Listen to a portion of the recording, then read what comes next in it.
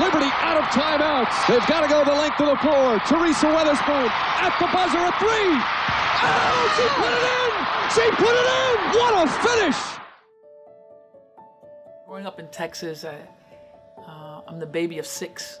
I have three sisters, two brothers, and my mom and dad, as hard as they had to work to make ends meet, uh, we, I'm from a family of humble, humble beginnings. And my father was a great baseball player.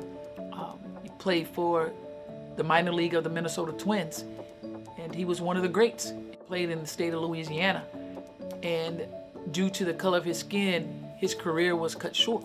And I'm, I have the opportunity to play in Louisiana, and when they recognized my last name, a lot of reporters were, were like, are you Charles Weatherspoon's daughter?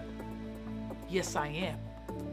And that yes, I am was huge because now it's like, now you will hear the name Weatherspoon again.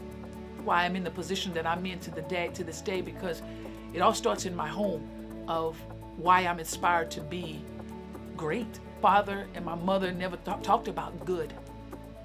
It was about great. And on that great path, you're not going to meet very many people. But it's up to you which one that you want. My mother always said this. She said, every day, at the end of your day, there must be self evaluation. You know that you're going to do great things for yourself.